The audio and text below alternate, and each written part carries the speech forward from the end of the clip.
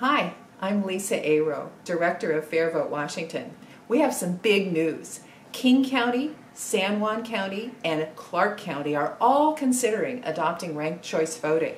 It's time to contact your county council. Please let them know why you like ranked choice voting and ask them to support it too. Thanks.